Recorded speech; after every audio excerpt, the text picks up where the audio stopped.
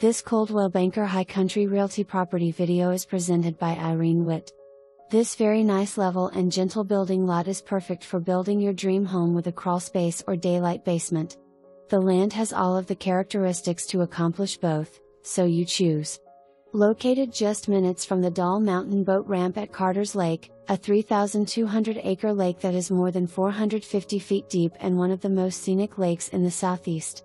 This private gated community offers paved roads, public utilities, walking slash hiking trails by Harris Branch Creek, a playground, and community pavilion. Come build your dream home today. For more information, review the details below.